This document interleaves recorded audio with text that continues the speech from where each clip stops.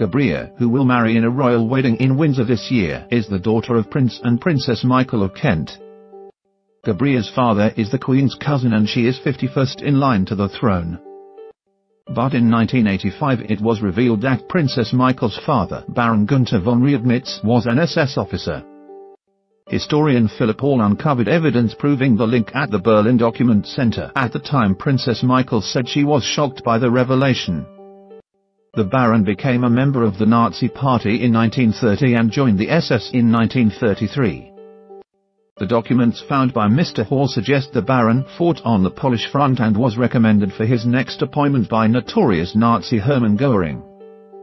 Princess Michael was born Marie Christine von Reibnitz during the final months of World War II.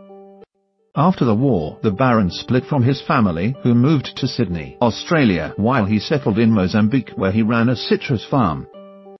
Gabriella will wed financier Thomas Kingston in the spring in the same church, St. George's Chapel, as Prince Harry and Meghan Markle and Princess Eugenie and Jack Brooksbank.